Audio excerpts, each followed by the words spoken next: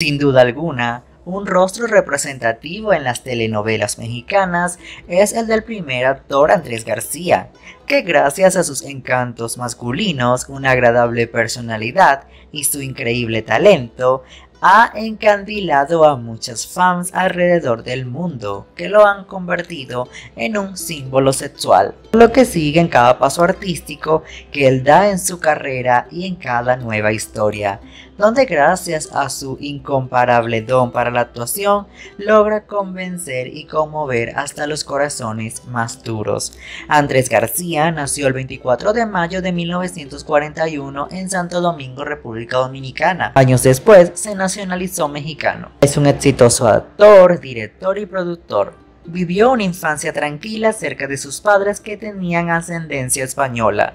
Su progenitor fue Andrés García Calle, mejor conocido como La Calle, un famoso aviador del país donde nació. Siendo aún muy pequeño, se mudó a México junto con sus padres donde inició una nueva vida. Por casualidades de la vida y casi sin buscarlo, en el año 1966 le ofrecieron la oportunidad de actuar en una película de acción llamada Chanot.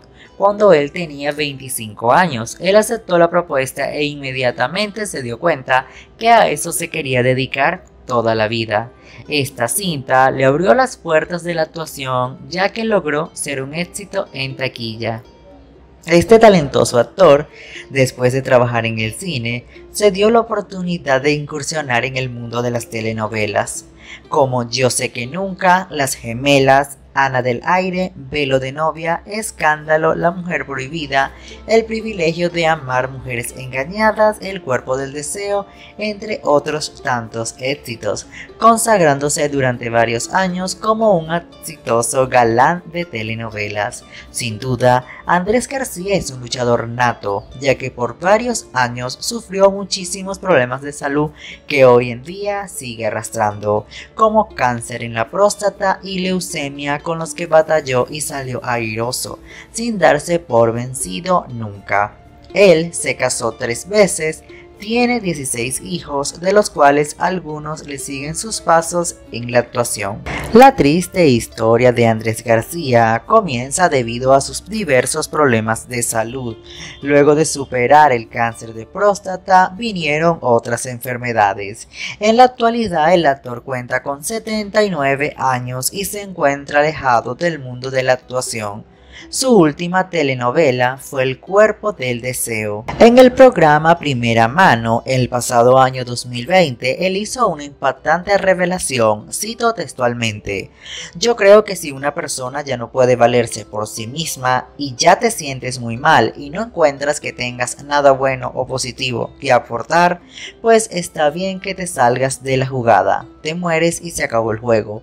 Esto relató el actor en una entrevista en el programa de Primera mano en diciembre del año 2020, debido a que sus palabras preocuparon no solo a quienes lo admiran, sino a todo el medio del espectáculo Hoy te voy a dar a conocer cuáles son las enfermedades que aquejan al galán de telenovelas que lo hicieron entrar en una terrible depresión. Fibromialgia y osteoartritis. El actor de 79 años padece de fibromialgia y osteoartritis, enfermedades que le hacen sentir dolores insoportables, que le hacen recibir medicación todos los días. Andrés García tiene estos males desde hace años y aunque ha mostrado una buena actitud, a veces no puede con ellas. Tengo estas enfermedades que me provocan dolores terribles, pero no me quiero quejar. Sobrellevo como La fibromialgia se caracteriza por dolor muscoesquelético generalizado, es decir, quienes la padecen tienen una sensación dolorosa en la presión de puntos específicos en todo el cuerpo, mientras que la osteoartritis es una enfermedad que produce cuando el cartílago que amortigua de los extremos de los huesos en las articulaciones se va deteriorando gradualmente. En el año 2014, el actor tuvo que someterse a una cirugía a causa de diversas anomalías que le producían dolores en la columna desde hace décadas, los cuales se agravaron tras el accidente vehicular que sufrió. Producto de ello tenía fuertes dolores que le impidieron caminar por sí solo, salvo apoyado con una andadera. Para controlar las dolencias tomaba medicamentos derivados de la morfina. Aunque ya puede caminar por sí solo, Andrés García quisiera retomar a realizar sus actividades anteriores con normalidad. Él dice que quiere meterse al mar y nadar, pero no puede porque tiene tornillos en la espalda.